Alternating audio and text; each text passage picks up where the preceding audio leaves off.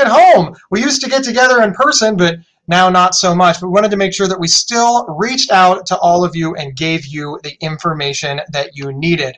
Before we bring on the guest, I want to ask you to head over to namitn.org and sign up for our email list. We send out at least one a week with curated content. It's called NAMI at Home, and it's really, really cool. And of course, you'll also find out about very, very cool stuff like the Facebook Lives. So please head over to namitn.org and sign up. All right, without further ado, we'd like to bring on our guest. Dr. Rosenberg, welcome to the program. Great to be here. Well, Dr. Rosenberg, I, I always go back and forth about whether or not I should read people's bios or just let them introduce themselves, but I've decided that I'm pretty sure you know you better than I know you. Uh-huh. Tell the folks who you are. I'm a psychiatrist, I'm a filmmaker, I'm an author, I'm an addiction psychiatrist affiliated with Cornell Weill Medical College here in New York City. And uh, how did you get started as a, a my, my spotlight has died. There we go. How did you get started? Because you started off as a psychiatrist. I, I think for many people that track, right? That's my job. Oh, you're still a practicing psychiatrist? Every hour on Zoom. Awesome. I'm going to extend you a bill for this session. that that is that is very reasonable. Um, but but please don't do that. Yeah, let's get a bill. but in addition to being a psychiatrist, which many people understand, you know, I, I don't need to say, hey, why did you become a psychiatrist? I, I think most people understand how people pick their jobs. That that makes sense to people. But in addition to being a psychiatrist, you're you you're a frontline advocate and you made a very cool documentary that was a Sundance selection. It's, it's on the screen right there. Check it out afterward. Uh, that that's the unusual part. What prompted that move into frontline advocacy and the creation of the documentary? Well, documentary filming is something I've done since medical school. When I, I, went to medical school to become a psychiatrist, my sister, as you know from my book, from my film, had uh, had schizophrenia and unfortunately died from schizophrenia. But I decided in medical school there wasn't a lot of psychiatry in medical school for me, for my taste uh, one summer I was going to do what I always did, which is like do some research. I was going to cut up some rat brains, that sort of thing. But instead, instead, I decided to take film courses at NYU, and and I did that throughout medical school, and that became kind of very passion of mine. And frankly, uh, documentary filmmaking was closer to psychiatry than most of medicine was, at least in the first two years of medical school. So, and I, I, made films about schizophrenia, made films about delirium, made films that, that would educate uh, my profession at the time. And then ultimately, by the end of medical school, I was making films that would be shown to the public, would be, you know, showed on PBS. Uh, during my fellowship at Cornell, uh, I, we, we had a, a, film we made with NAMI, with the local NAMI chapter. And that film won an Emmy. We're very proud of it. And then, and then after medical school uh, and after my fellowship, in addiction psychiatry. Then I made films for HBO, made four films for HBO. So it's always been kind of like my night job. And uh, this film was different, this film Bedlam, because I never really told the story of serious mental illness as, in as much depth. I did make a film at Harvard, at Mass General, where we did follow people with very serious mental illness. But it really wasn't until this film that I decided that I would do something about my sister, about my family, about my own story and that was really a change of heart um, to really get into that. But uh, filmmaking, writing um, has always been kind of you know part of my life. And as I you know said, it's um, as much of as anything, as much as being a psychiatrist. You know, I think that what I do as a psychiatrist, I listen to people's stories and try to make sense out of it. And you know, as a filmmaker, that's precisely what I do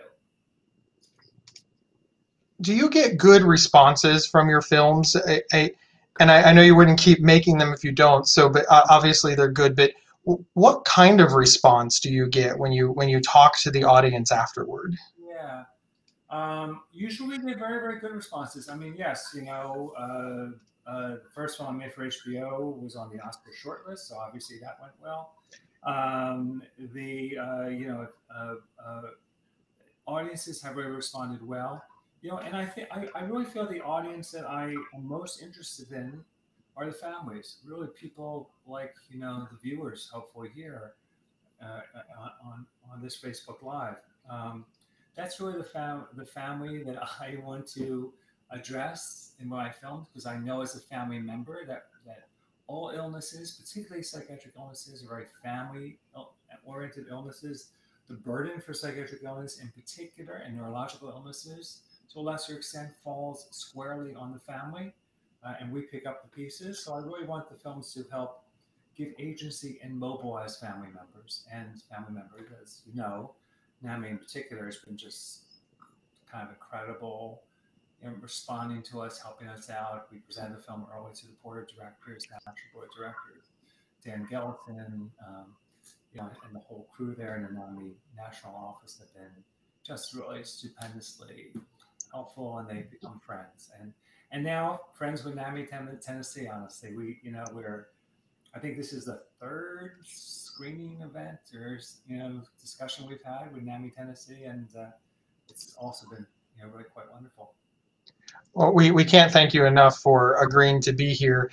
We're it's awesome work that you do. Now, it, so this is sort of one of those questions that I'm asking both for you to answer both as a psychiatrist and a filmmaker, because I, I imagine that they they differ a little. A lot of psychiatrists feel that because of HIPAA laws and because of you know patient confidentiality that look my relationship as a psychiatrist is between me and my patient. Everybody else go away. Now you've just said as a filmmaker you, you know the the family members are very impacted and, and they're, they're very important to recovery. Now speaking as somebody who lives with bipolar disorder I, I, I can't disagree with that. If i didn't have a strong support system i wouldn't be here today. But you're your your your medical colleagues they they there's no consensus. What is that like for you? You're kind of straddling the line.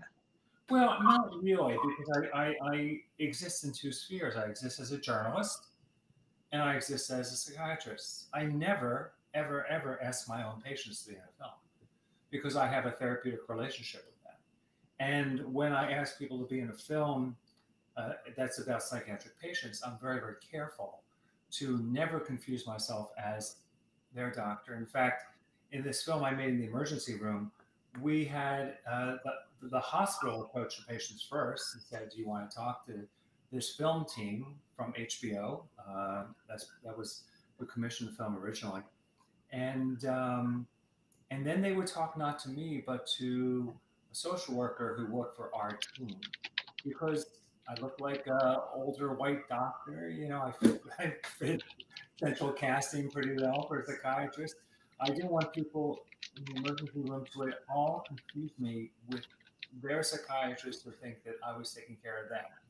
So, you know, I go to great lengths to, to make sure that um, that we do abide by you know, the rules and regulations. So again, with my patients, I never ask them to do anything more than you know, show up to sessions and, you know, be a patient. Uh, when I'm a filmmaker or I'm a journalist, it's, it's a very, very different matter. Ken, thank you so much. There's uh, the audience is asking us if we can speak a little louder. Not me so much. I, I, don't. I, am sorry, but I don't have a microphone. I will. I will get closer. So. Not a problem. I, I, I always chuckle. Nobody has ever asked me to speak louder, so I'm I'm. They they, they literally said, "Here, Gabe, fine. Guest guest iffy." Uh, so just to pass that along. Uh, the uh, the next question that I have for you is, it, it isn't that tough though? I, I mean, listen, I want to be very clear. I'm not a doctor. I have zero medical training, like like literally zero. Uh, but I know a lot about mental health. I know a lot about living with bipolar disorder. I, I am a subject matter expert, which is a fancy term for have no degrees and nobody should listen to me. But every now and again, I get an email from somebody and they'll describe something to me, and I, I think in my mind that's that's not right. That's that's not right. I'm I'm and uh, I, as a peer specialist, I, I I say stuff like I think you need to have a conversation with your doctor because I, I feel very strongly that I have zero agency in, in, in that role and I don't I don't want to get between that. But what do you do if you're making a documentary and, and you feel that the, the medical side or the hospital side or the, the psychiatrist is is doing something absolutely great question. wrong? Oh, it's it's it's very hard. Yeah, look, um, psychiatry in particular is very fallible. All all medicine is, but psychiatry perhaps the most fallible.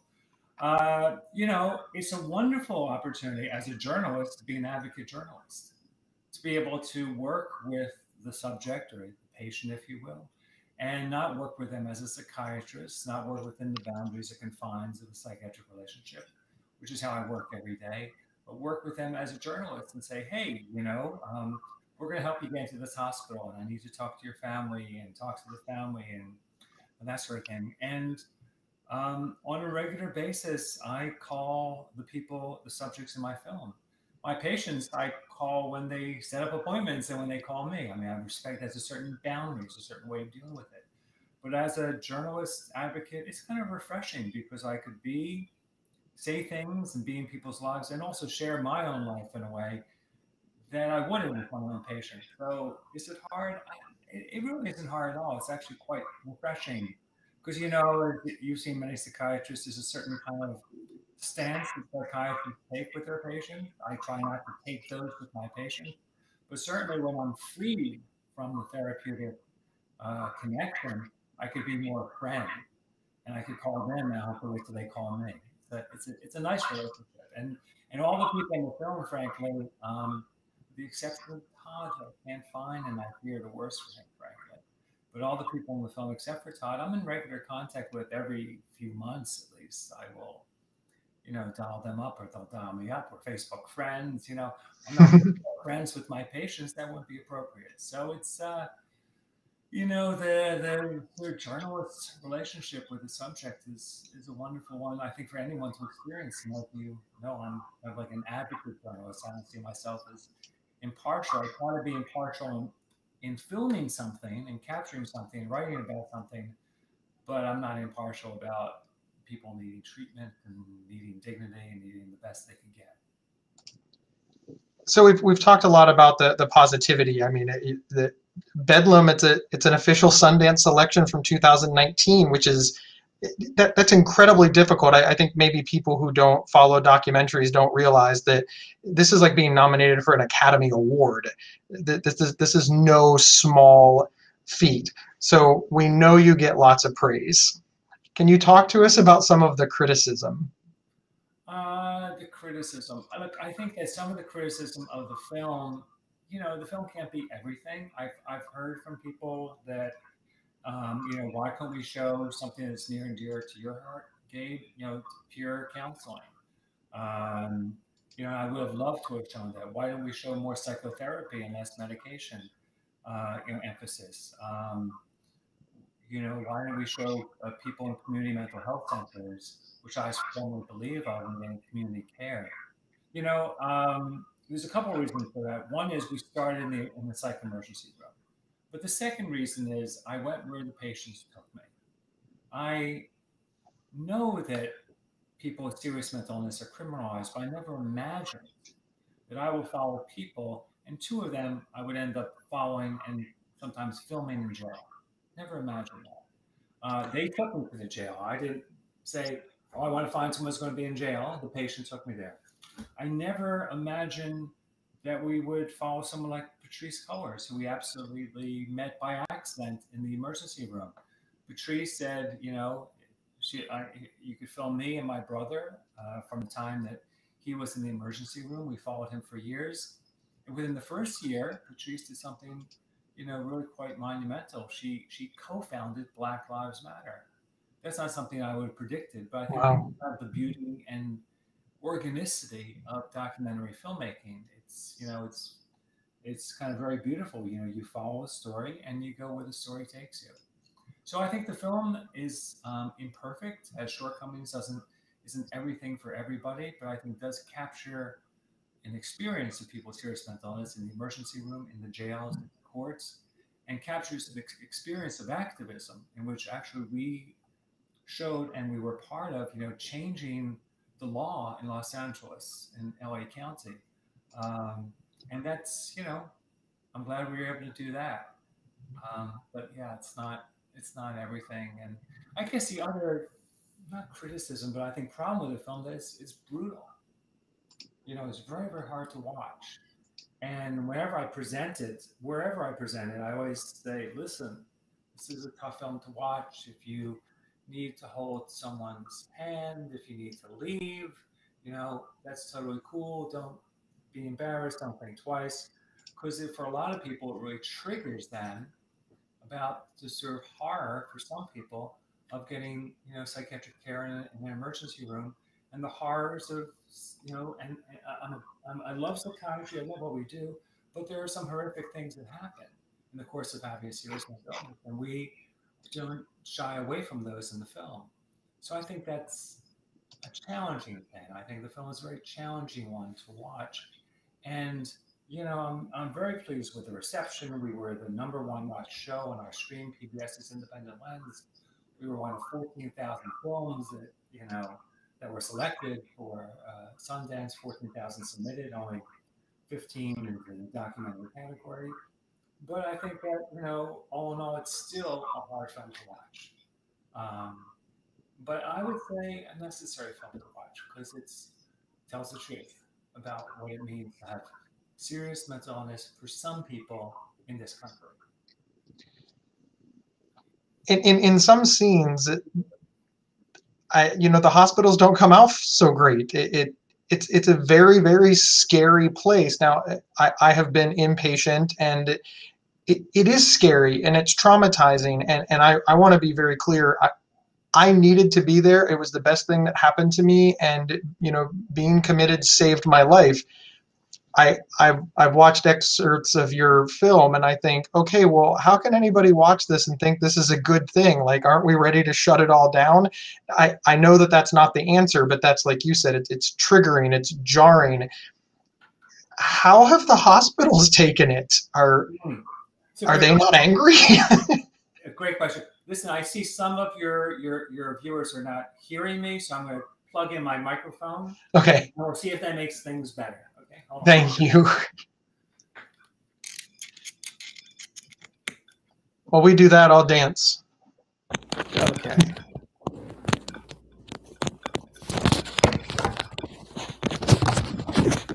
I think we're making progress because the feedback is louder.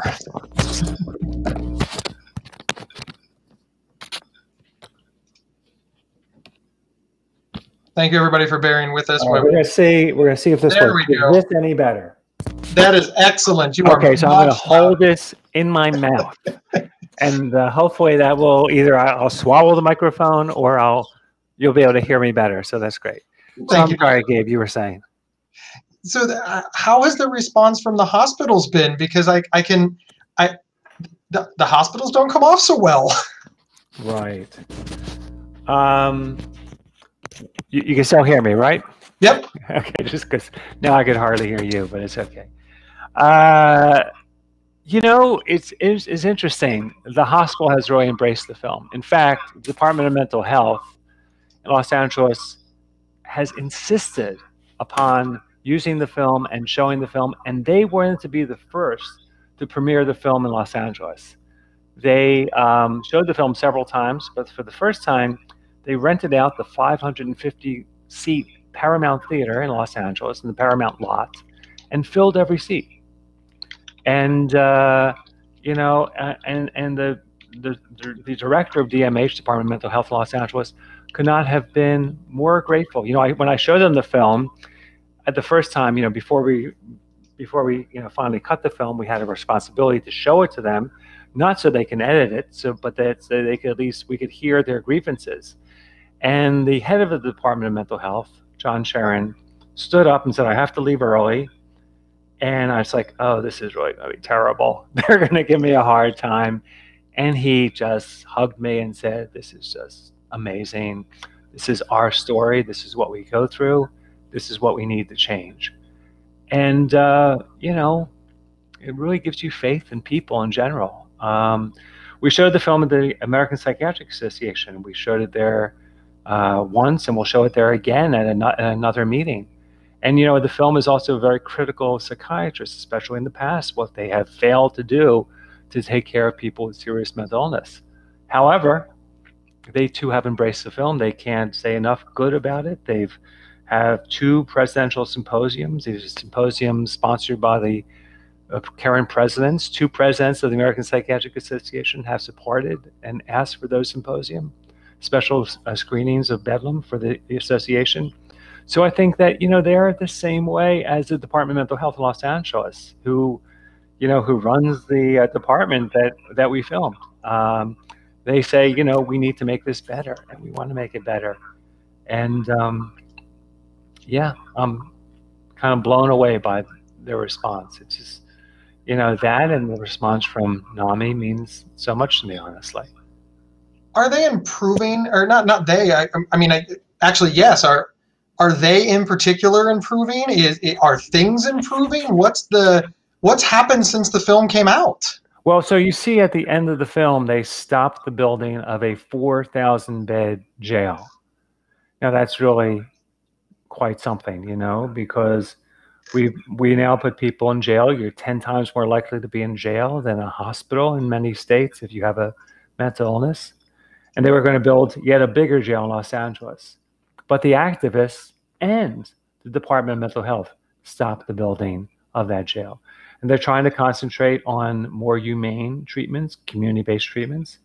Um, and there just was, with our help, I might add, something passed called Measure J in Los Angeles County, which is a substantial amount of money going for community care and community mental health efforts. Um, so things are changing. They're trying to adopt a model all kinds of models. I mean, they can't do you know everything and change it overnight. It's an incredibly large and complicated system, but they're trying to use a model from a town called Trieste, Italy. Trieste, Italy is, as you may know from my book, uh, it's a World Health Organization exemplar for really good community mental health, 24/7 community mental health workers, and they are you know trying to do that in Los Angeles so yeah, I think things have changed. I think that's why uh, DMH and HS, uh, uh, the Department of Mental Health and the Department of Health Services in general, Los Angeles, have both enthusiastically supported the film because they want you know, Los Angeles to not be an epicenter of the crisis, but to be an epicenter of change. And I think that with the film, uh, that is indeed happening. It, it's a little bit sad that you had to actually it's a lot sad that the example that you had you you had to leave America. Like you went you went all the way to Italy and you're like hey they're doing it right. Is there any place in America that is doing this right? And I you, you may not know the answer to that question. It's just, it's just yeah I, I, mean I think various places are doing it right. Look it's a very complex problem uh, one of the reasons why they're doing it right in Italy is because they have things that we don't have uh, and they don't have things that we do have. For instance, they don't have a drug epidemic. And uh, drugs really complicate so much the treatment and care of people with serious mental illness. They have intact families, which we often don't have. They don't have the level of poverty that we have. They don't have housing crises, which we have in our major cities, which is you know at the seat of homelessness. And what they have that we lack is universal health care so we can import some of what they do, but if we don't have universal and preventative health care for people with serious mental illness and people who are impoverished, um, you know, there's only so much we could do. But there are some places that do it well. Look, I think that all across the country, you see really good centers, really good community mental health centers. Um, you see really good uh, assisted outpatient treatment programs. I mean, Summit County in uh, in Ohio is a, is a great example. Uh, Reno, Nevada is a great example. Here in New York, we have mental health courts that divert people from you know incarceration into treatment. There's a Queens mental health court, which is really quite brilliant, incredible. A Brooklyn mental health court that I'm intimately uh, knowledgeable about. So I think that we have some good resources in this country, but we don't have a kind of a unified strategy as they do more in Europe. And I think that we just have a attitude about mental illness and serious mental illness in particular, and about poverty and about homelessness, which um, really flies in the face of providing good care. Whereas I think the European countries, specifically Germany and the Scandinavian countries, you know, do a much better job than we do. Do you think we're getting there? Is the needle moving? Are we moving forward? Do you believe that we're better off today than we were five years ago, and better off five years ago than ten years ago? Yeah, I, th- I mean, I think we are in some ways, but not in all ways. Uh, we're certainly better off because of the 2010 enacted parity bill, which enables people with mental illness to have care on the level of those with medical illness. Um, you know, there have been several acts that have passed since then that have been very instrumental uh, through legislature, both bipartisan, you know, legislature. I think in some ways it's not so good. So, for instance, when we talk about schizophrenia medication, new drug trials have decreased by you know something like 80 to 90 percent over the past 15 years. We have very fewer drugs in the pharmaceutical pipeline than we did 20 years ago um, for depression, but particularly for serious mental illnesses like schizophrenia and bipolar disorder. We still rely on very old drugs, which are wonderful. You know, lithium is the gold standard, but it was discovered by serendipity in 1949. Uh, Lamictal and some of the mood stabilizers, anticonvulsants, you know, are very good, but you know, they were also used by serendipity. They were not, you know, engineered to deal with the causes of bipolar disorder. So I think that in terms of medication research, we really have a lot, uh, a, a, lot that we really need to accomplish. We also have a first episode uh, psychosis em- emphasis in the NIH and SAMHSA, and that's great too. Uh, but I think we also need to deal with, you know, people who have been sick for a while. But the first episode, early intervention strategy, is a new strategy, and I think it's a very, very encouraging sign. What can families do to advocate for their loved ones? Because it, it, you know, at the top of the show, we talked a little bit about there, there there's barriers. You know, there, there's HIPAA, there's privacy, there's patients' rights. A lot of doctors, they, for any number of reasons, the most often given uh, risk and, and legal assessment don't want to work with families. Now, NAMI, we, we, we have strong families that, that we're, we're working. We're, we're doing what we need to do, and we have a lot of barriers. Now, I, I don't want to get into a discussion about whether or not those barriers are good or bad. Just what can a family member do when they're advocating for their loved one and they're running up against all of the things, some of which documented in your movie and some of which you just know as a frontline advocate? Right. Hi, it's a big question. Look, I think yeah. the first thing people could do is, you know, what you're doing now, which is, you know, join NAMI and kind of, you know, organize and become activists. Um, uh, it's extremely important for families to tell their stories, as hard as those stories are. And for those people who are still lost in stigma or shame, it's very, very important, you know, to tell those stories. It was hard for me to tell my story. Frankly, it still is hard the story of my sister and her illness and of my family's denial of her illness. Um, but I think those stories are extremely powerful and important to tell and let everyone know that, you know, we're not going to kind of cower in the shadows anymore and, you know, be the beneficiaries of the kindness of strangers.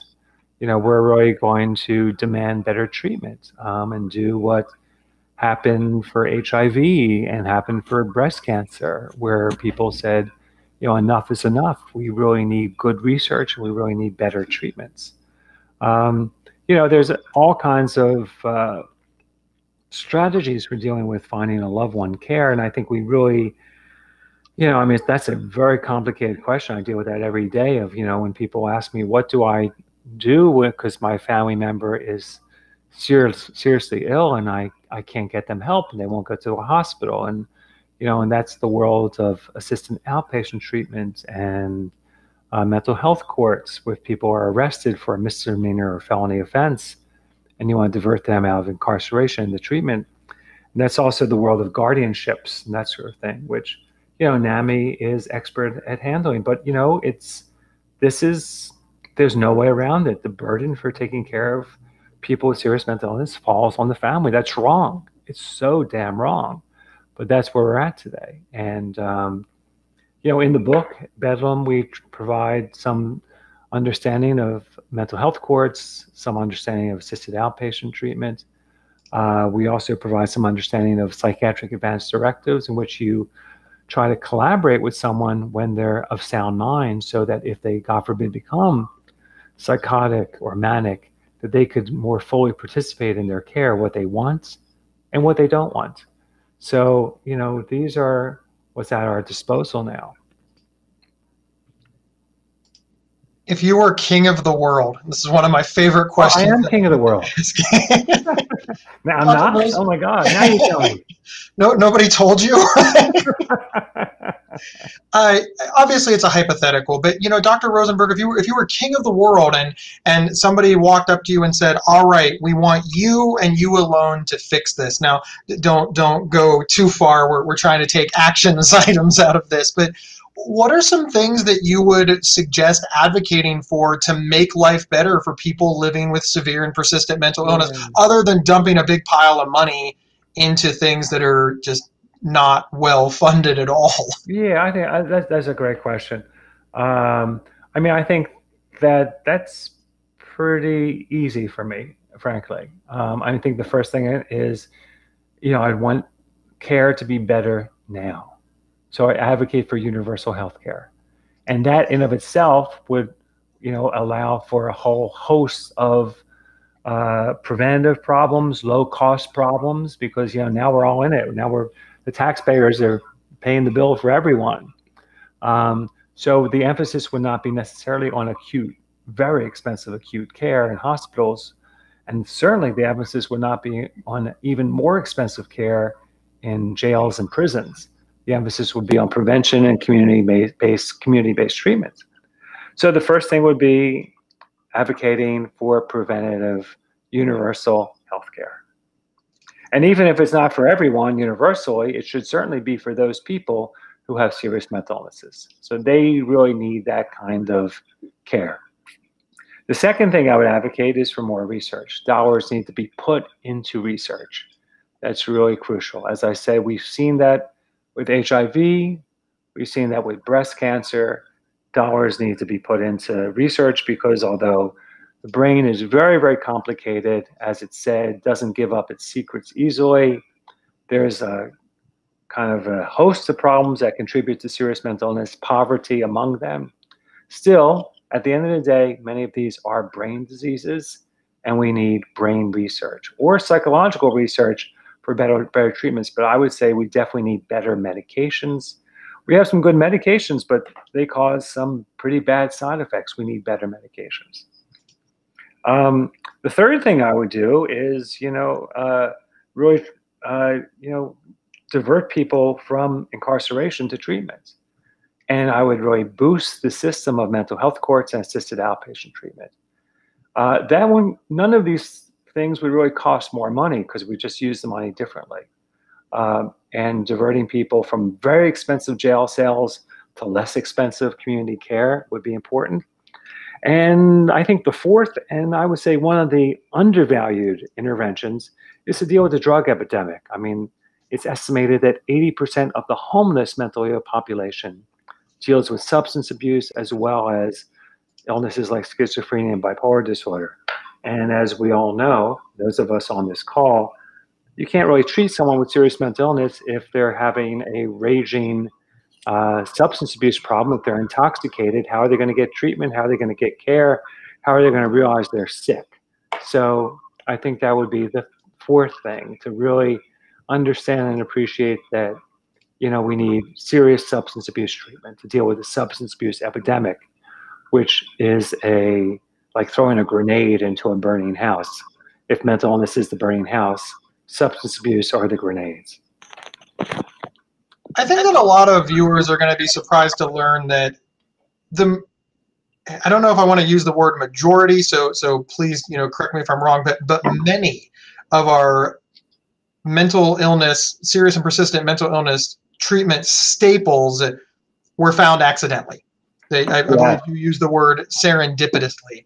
I, yeah. I, think that there's there's this general belief that somebody is out there trying to resolve this problem, and that's why the needle is moved. Versus, not very many people are trying to solve the problem, but every now and again, the solu- what they thought was the solution to another problem turns out not to work for that. But hey, we we we've shown some huh, that's weird. And, and then suddenly we, we get a new drug. As a psychiatrist, and frankly, as a, as a, as a documentarian, as a, as a writer, as a journalist, it, can you educate folks about this? Because again, I, I, I love my NAMI family, but I really do think that they believe that there's a whole bunch of doctors sitting in a room trying to cure schizophrenia right now, and that's yeah. that's just generally not the case. Yeah. Oh no, I'm sure there are a whole bunch of doctors trying to cure schizophrenia in a room somewhere, but you need many rooms and many institutes, and you know much more funding to do so. Um, yeah, I mean the history of psychopharmacology, which again, I'm a psychiatrist. I prescribe medications for my patients every day. I believe in this.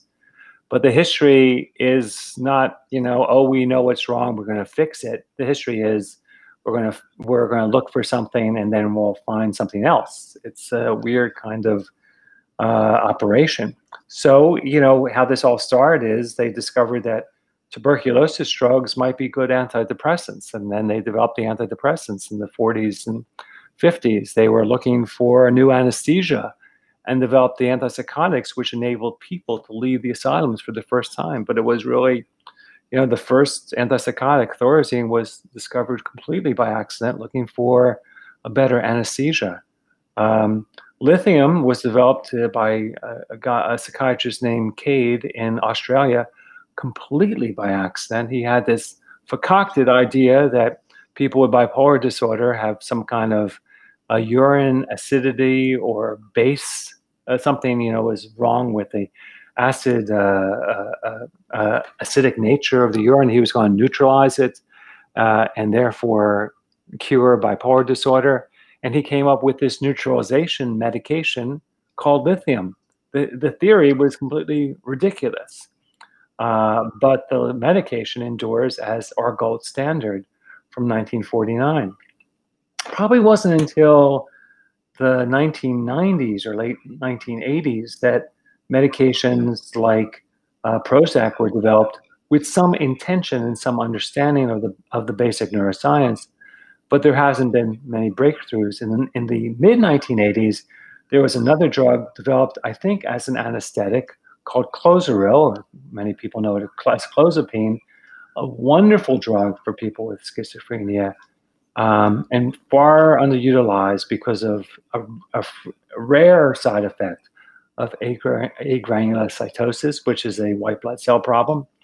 Um, but that was also discovered by accident, and you know there hasn't been much done. Zyprexa was supposed to be the new Clozaril, but really didn't turn out to be that. And you know the whole new generation of antipsychotics developed, which were developed intentionally were still based on the old antipsychotics, and they uh, didn't have some of the problems of the old antipsychotics. They didn't induce as much lethargy, and they also um, didn't cause something called tardive dyskinesia as frequently. And tardive dyskinesia is the involuntary movements that were very common from the drugs of the 1950s, 60s. But the new drugs also cause new problems like metabolic syndrome, which is a fancy name for kind of diabetes and you know grossly becoming overweight. Um, so you know there are women and men in rooms working hard on this problem every day, but there are very few candidate molecules. And uh, you know, it's a chicken or egg question. Is that because we don't know enough about the brain, or we just don't invest enough in knowing about the brain? But clearly, if you look at research for serious mental illness, it pales in comparison to something like uh, cardiovascular disease, pales in comparison to cancer. It's like, you know, a, a half a billion dollars compared to $5 billion for cancer, if I'm not mistaken. Uh, and if you look at the toll of mental illness, it is greater than the toll of all those other non communicable diseases. If you add the cost burden of all the non communicable diseases combined cancer, cardiovascular disease, um, and you put the cost of that to our society in, on on one side and mental illness on the other side mental illness exceeds them but we've spent a fraction of the money. So i think we need to spend more time and devotion and uh, you know i think it's it kind of comes down gabe to priorities. We don't prioritize serious mental illness and we don't prioritize treatment for people who have schizophrenia and bipolar disorder. And hopefully, you know, that time will come, but that time has not yet arrived. I hope that that time comes as well, just from a a, a, money saving. I mean, just if, if you care about money, it's it's. I think it's a good idea. But uh, moving past that, I I think a lot of people are going to be surprised that if you were king of the world, one of the things that you said was universal health care. I, I know that that's a loaded political topic, so just bear with me for a moment. I think a lot of people are unaware that our physical health exacerbates our mental health. Uh, for example, as, as somebody who lives with bipolar disorder, who's had psychosis, I, I think of when I was sick, some of the things that caused me the most problems uh, weren't bipolar disorder. It was the fact that I wasn't caring for myself very well. So I, I, I did have a, a substance abuse problem. But even moving past that, all of my food came from a bag. It came from McDonald's. I was, I, I wasn't, you know, no diet, no exercise, no routine, not good sleep. I wasn't getting good checkups. Uh, frankly, the only reason that my body survived is because I, I was very young. I was in, you know, I was in my, my late teens, early 20s. So I was able to overcome that because I finally got treatment. But I think about if I was an undiagnosed person with bipolar disorder today at 44, and I was eating nothing but grease, uh, not getting any exercise, staying up two or three days at a time. Uh, I think that would put me at prime risk for, uh, well, just many things. Is is that why you feel that universal health care is is a, a good deterrent for mental health issues because it would get caught early? Uh, all of those little things would get fixed before they became big problems, etc. Is, is that the logic? Yeah, well, I think that I think the logic is that everyone would get health care. Everyone's mental health would be, you know, would be assessed and addressed early on. We would have early intervention for uh, psychosis, as we do now, as a part of a movement. But that would be part of just what you do. I mean, you know, we would we would do it to save lives. We'd also do it to save money, because we know it's much more efficient to treat any illness if you catch it earlier than later. And yes, we provide physical health as well as mental health care because they go hand in hand.